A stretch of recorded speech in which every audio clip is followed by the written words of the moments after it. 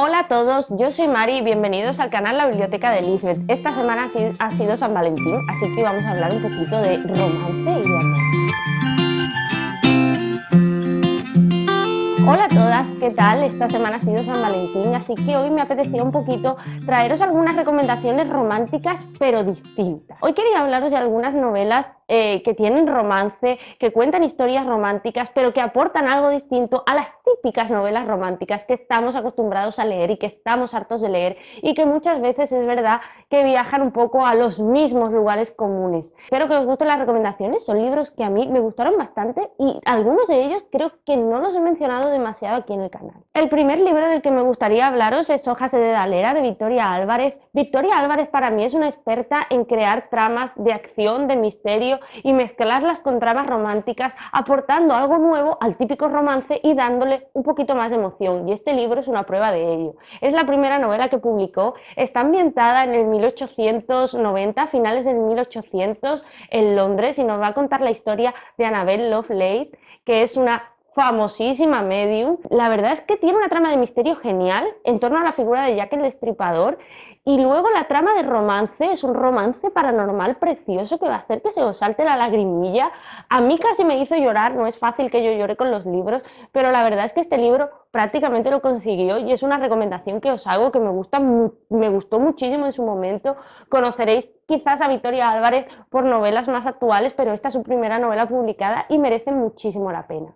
El siguiente libro del que me gustaría hablaros hoy es La pregunta de sus ojos de Eduardo Sacheri. Es el libro que inspiró la película El secreto de sus ojos, que está protagonizada por Ricardo Darín y que es una auténtica maravilla. Y al igual que en el libro anterior, este libro, esta historia, entremezcla muy bien una trama de thriller, de thriller muy interesante que está ambientada en Argentina entre los años 60 y 70 y una trama de amor preciosa.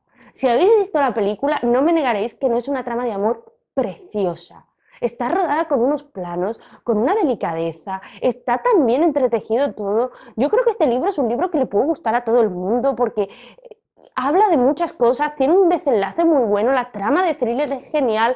Eh, luego, eh, lo que es el contexto histórico en Argentina en los años 70 está también muy bien y nos va a contar la historia de un hombre que trabaja de funcionario en un juzgado y un día tiene que ir al levantamiento de un cadáver eh, de una mujer que ha sido asesinada. Y el libro nos va a contar la historia de este crimen, de cómo a este hombre le afectó eh, la muerte de esta mujer y aquel caso concretamente y el desenlace del mismo. Y creo que es un libro que aúna un montón de temas interesantes y que le puede encantar a todo el mundo. El siguiente libro del que me gustaría hablaros ha sido una de mis últimas lecturas, ha sido Proyecto Bruno de Ana González Duque, que se publicó eh, el, precisamente el día de San Valentín. Yo tuve el placer de leerlo el fin de semana pasado y me encantó.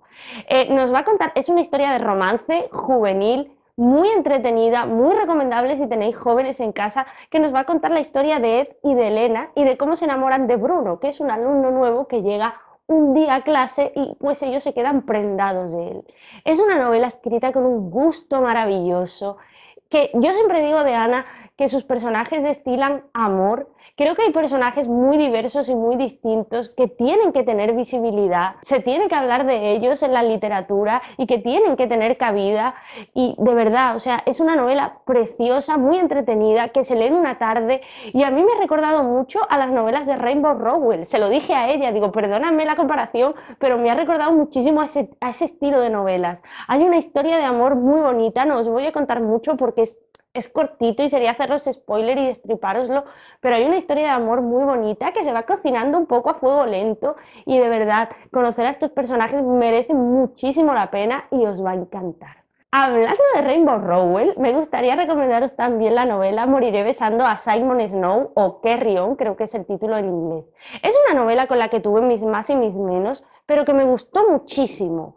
Eh, nos va a contar una historia, la historia de amor bueno, no nos va a contar la historia de amor. Es una novela fantástica. Es una novela fantástica que parodia un poco las novelas fantásticas eh, que estamos hartos de leer. Es una parodia de la, saga Harry Potter y es un poco el fanfic que Kat, eh, que es la protagonista de Fangirl, escribe en ese libro. ¿no?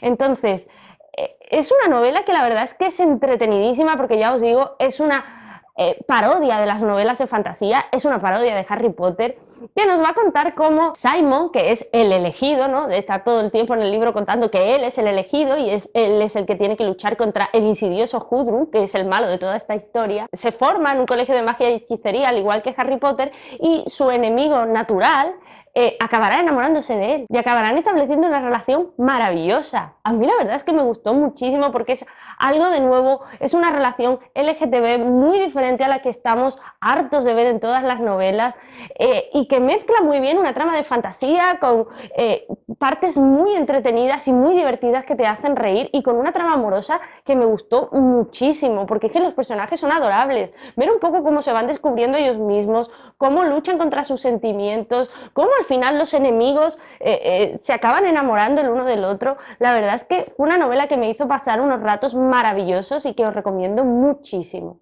Otra novela de la que me gustaría hablaros también es Bailando para de Gas. Esta novela me encantó, me la leí en un autobús de Cádiz a Madrid o de Madrid a Cádiz, no recuerdo muy bien. Y la verdad es que fue un libro que me entretuvo muchísimo, es muy cortito, se lee en unas horas y si os va un poco eh, las historias que hablen sobre cuadros, sobre pintura, eh, esta historia os va a encantar y os va a gustar. Em, es la historia de cómo Edgar Degas se inspiró en las bailarinas para pintar sus famosos cuadros de las bailarinas, precisamente, y la relación que establece con una de ellas eh, que le sirve de modelo para sus cuadros. Me gustó muchísimo porque la historia de, ellos dos, la relación de, de ellos dos, te mantiene en vilo durante toda la trama. Y eso está muy bien. Es, es, un poco una típica relación de que sí que no. No es romance, romance. No sé si meterla directamente en romance, romance. Pero la historia entre el pintor y la bailarina es maravillosa. Ya os digo, os mantiene en vilo durante toda la trama. Y es un libro que me pareció muy delicado, muy bonito y súper entretenido. Otro libro que me gustaría recomendaros también es Alguien como tú, de Elizabeth Benavent. Es la primera parte de la trilogía Mi elección. Y aunque creo que esta trilogía desbarró un poquito a partir del segundo libro. Eh, creo que el primer libro está muy bien porque aporta una visión del amor completamente distinta y una visión de la pareja completamente distinta, porque los protagonistas en este caso no son una pareja, sino un trío. Y me gustó muchísimo esa idea y cómo tú al final acabas leyendo y acabas viendo lo normal. ¿Ves? Vas viendo cómo ella se va enamorando de los dos vas viendo cómo ellos se enamoran de ella, cómo los tres se acaban complementando en todos los planos, tanto en la vida cotidiana como en el trabajo, como en el sexo. Y la verdad es que la primera parte me gustó mucho porque era algo muy distinto y me pareció una idea de partida muy, muy buena. Es verdad que creo que al final va un poco desbarrando y creo que no eran necesarios tres libros y que con un libro únicamente hubiera bastado, pero la verdad es que es una historia que me gustó muchísimo porque aparte, por encima de ella y del, y del amor que le tienen a ella, tú ves como ellos dos, como los dos amigos, se quieren y se complementan también y son fundamentales el uno para el otro y cómo ella entra un poco también a romper esa amistad y ese equilibrio que tenían. Fue un libro que la verdad el primero me gustó muchísimo, es Elizabeth Benavent, tiene altas dosis de sexo, ya sabéis que sus libros son altamente eróticos y si no os gusta demasiado ese tipo de literatura quizás os aburra, pero la verdad es que a mí es una autora que me encanta y es un libro que me gustó muchísimo. Y el último libro que me gustaría recomendaros hoy es prohibido de Tabitha Suzuma, creo que se llama la autora.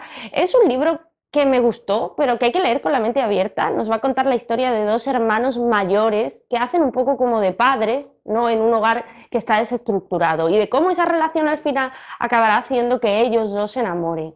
Es un libro que hay que leer con la mente abierta. A mí me gustó bastante, la verdad. Es una historia dura, es una historia complicada, pero que creo que aporta una visión también distinta del amor y que aporta algo nuevo al típico romance. Esto ha sido todo por esta semana, espero que os haya gustado el vídeo, que me dejéis en los comentarios vuestras recomendaciones y recordad que la semana será más corta y menos dura de lo que parece si la pasáis con maravillosas lecturas. Un besito y adiós.